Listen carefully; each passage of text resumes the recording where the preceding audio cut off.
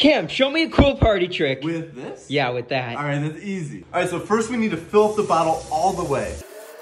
And then next you want to grab a napkin. You'll be able to make this and turn this napkin into a cap, all right? So all you gotta do is just press down a little bit, get it nice and wet. Now hold around the edges and start to rip it off from around the edges like that.